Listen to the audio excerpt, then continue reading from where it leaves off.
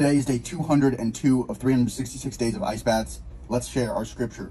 Proverbs 11:30 The fruit of the righteous is a tree of life. What does this mean?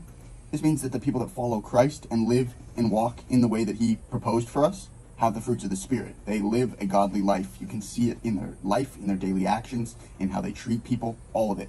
And actually, starting today, we're going to do both sides. These are double-sided. Revelations 21, 6. I will give unto him that is athirst of the fountain of the water of life freely. What does this mean? This means that if you seek the Lord, you ask for wisdom, just like Solomon. He asked for wisdom and it was given to him. If you ask for something and you ask justly, rightly, and it's authentic, God will give it to you. Absolutely, freely, of his own accord. And whatever you ask, you shall be given. It's as simple as that. It's wonderful. And uh, see you tomorrow. See how it's backsplash it that way, you really have to make sure.